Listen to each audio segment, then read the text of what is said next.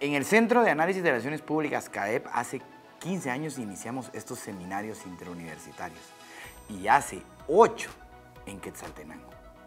La idea de estos encuentros es discutir cómo podemos construir una mejor nación.